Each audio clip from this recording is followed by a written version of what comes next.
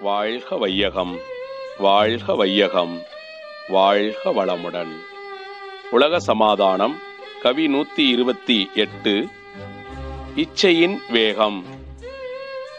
எச்செயலும் மூலமெனும் எண்ணத்தாலாம் இன்பதுன்ப காரணமும் அதுவேயாகும். இச்சை என்னும் தீயெழுந்து எரியும் போது இயங்கும் உடற்கருவிகளால் அறிவை கொண்டு அச்சமர அனுபவித்தே அணைக்கலாகும். அதை தணிக்க வேறு வழி இல்லை. அதனால் நச்சுவிலை இச்சைகளை விளைவிக்காத நல்லொழுக்க வாழ்க்கைக்கு முறை வகுத்தேன். விளக்கம். எல்லா அனுபோக அனுபவங்களுக்கும் எண்ணமே இச்சையே அடிப்படையாகும்.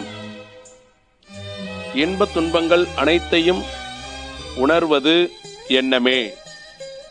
இச்சை தோன்றிவிட்டால் அதை உடற்கருவிகளை கொண்டும் அறிவை கொண்டும் அனுபவித்தோ ஆராய்ந்தோதான் முடிக்க வேண்டும். ஆராய்ந்து முடிப்பது பண்பட்ட அறிஞர்களால் தான் இயலும்.